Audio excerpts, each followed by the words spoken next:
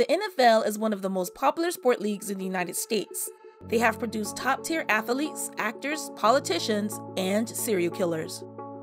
Here are two football players turned serial killers. Randall Woodfield had dreams of making it big in the NFL. After he was let go by the Green Bay Packers in 1974, his life spiraled into the life of a serial killer. Woodfield was born on December 26, 1950, in Salem, Oregon, and was the third child of a wealthy family. In middle school, he started showing signs of inappropriate sexual behavior and began exposing himself to girls. And in high school, he was known around town as a peeping Tom. His parents were so concerned by his behavior that they put him in therapy. Despite his behavior problems, he excelled in football, basketball, and track throughout high school. He attended Treasure Valley Community College, and his unusual habits escalated to violence when he ransacked his ex girlfriend's apartment. He then transferred to Portland University, where he played football. His football skills got the attention of the NFL, and he was drafted by the Packers in 1974. But he didn't last long because he was kicked off the team a few months later due to over a dozen indecent exposure arrests. Unable to maintain his football career, Woodfield left Wisconsin and returned to Portland, Oregon. It was there that his first crime spree would begin. In 1975, 24 year old Randall Woodfield began robbing women by knife point and forcing them to perform oral sex before stealing their purses. In order to catch him, the local police had female officers act as decoys, and he was caught on March 3rd of that year. He received a 10 year sentence for second degree robbery and only served four of the 10 year sentence. A few months after his release from prison in 1979, he began his second crime spree, and this time it became deadly. While some people are rehabilitated or scared straight after serving time in prison, Woodfield doubled down. When he was released in July 1979, he reconnected with Sherry Ayers, a 29 year old former classmate. The pair had known each other since the second grade, and he wrote to her while he was in prison. Sometime after his release, he bumped into her and they discussed their high school's 10 year class reunion. We don't know exactly what happened, but we do know that he showed up at her apartment on October 9, 1980. Sherry was raped and murdered. He hit her on the head with an unknown object, then stabbed her in the neck repeatedly.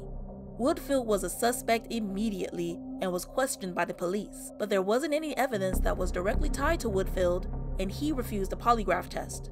The only clue that the police had to go by was a car that looked like Woodfield's was spotted leaving the scene of the crime. As a result, he wasn't arrested. A short month later, Woodfield's urge to kill returned, and his next target was 22 year old Darcy Fix. And just like Sherry, Darcy wasn't a stranger. She was the ex girlfriend of Woodfield's college friend, and he decided to attack her on Thanksgiving Day. What he didn't expect was 24 year old Keith Altick to show up in the middle of the attack. He bound and gagged both Darcy and Keith and shot them execution style inside of her home. Woodfield was questioned because of his connection with the victim, and once again, there were no charges due to lack of evidence. Woodfield didn't just kill people he knew, he changed his tactics and started killing strangers. On December 9, 1980, he began wearing a fake beard and a nasal strip and started a series of robberies in Oregon. He committed armed robberies on gas stations, restaurants, and even an ice cream parlor. In some of the robberies, he would force female workers to either expose themselves or to pleasure him. By January 1981, the police were calling him the I 5 Bandit because of his predilection to commit his crimes at businesses near the highway. No one was safe from this one man crime wave. On January 14th, he broke into the home with two sisters, ages 10 and 8. He made them disrobe and forced them to perform acts on him. A few days later, he broke into an office building and murdered Shari Hull and injured Beth Wilmot after sexually assaulting them. His reign of terror didn't stop in Oregon. By February, he was in California, often committing multiple crimes on the same day. On February 3, 1981, 37 year old Donna Eckert and her 14 year old daughter Janelle were found dead in their home in Mountain Gate, California, just off the I 5. The mother and daughter were found in the master bedroom in bed and shot multiple times in the head. Lab tests revealed that Janelle was sexually assaulted. The next day, Woodfield kidnapped, sexually assaulted, and robbed three women from three separate businesses. On February 9th, he robbed two more businesses as well as sexually assaulted women at both locations. His last murder occurred on February 15th when he was 30 years old. He was back in Oregon and once again he went after someone he knew. He shot and killed his ex girlfriend, 18 year old Julie Ritz, inside of her home in Beaverton, Oregon. With the revelation that another woman that Woodfield knew was murdered, the police immediately made him the prime suspect. Although he was a suspect for the murder of Julie Ritz, the police didn't have him under surveillance, and he was able to commit three more robberies and a sexual assault before he was finally taken in for questioning.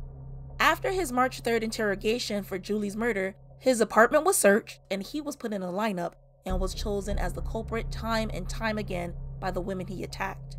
One of the witnesses included Beth Wilmot, who survived being shot in the head. But as the investigation into Woodfield continued, Beaverton, Oregon police began to see a pattern. The crimes all occurred along the I 5 highway. The police then decided to check the phone records of payphones along the I 5. Police Chief David Bishop said, Woodfield was addicted to the phone. He made thousands of calls. He had girlfriends everywhere. The phone records convinced the police that Woodfield was the suspect for a five month crime spree that took the lives of 18 people. Despite being directly linked to 18 murders, he was only charged for the murder of Shari Hull. During the trial, the district attorney for the county said that Woodfield was the coldest, most detached defendant I've ever seen.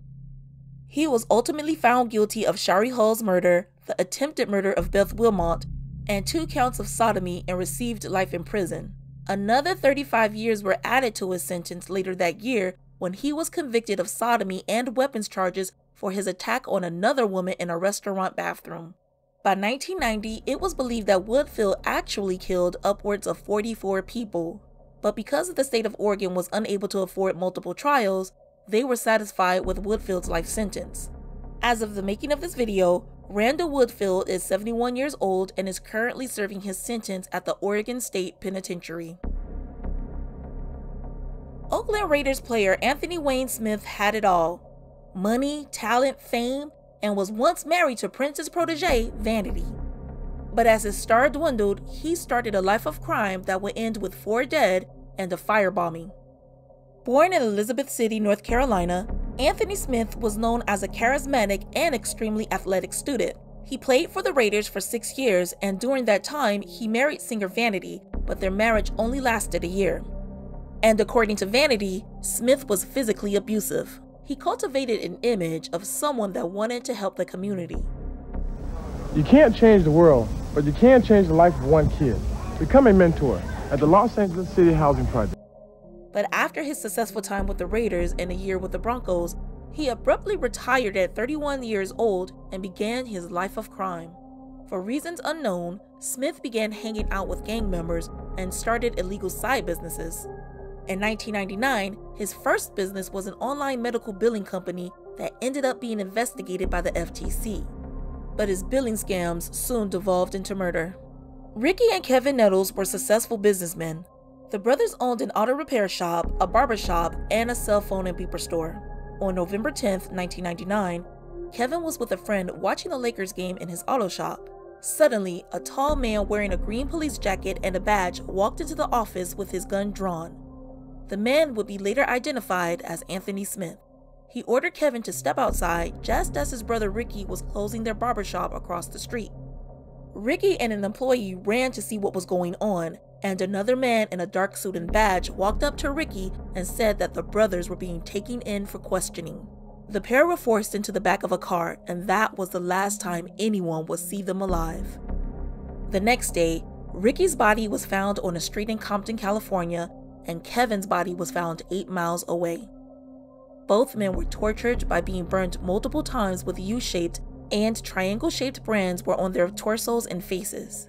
Their heads were wrapped in duct tape and they were stabbed repeatedly. When the police went to investigate, they found that Ricky's apartment was ransacked. For years, the Nettles murders went unsolved, and Anthony Smith felt untouchable. But one of the things he hated the most was when he felt like people were taking advantage of him or owed him money.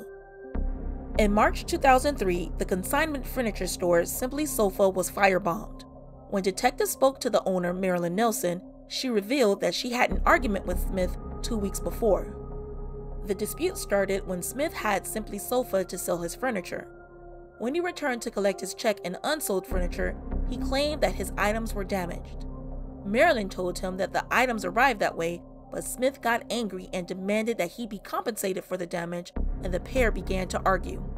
Anthony Smith was 6 foot 3 and over 300 pounds, and Marilyn decided this wasn't a fight she was willing to continue. So, she wrote him a check for $615 for the damaged furniture. The next day, he came back claiming that he lost the check and demanded that she write him another one. Not wanting to get into another confrontation, she did.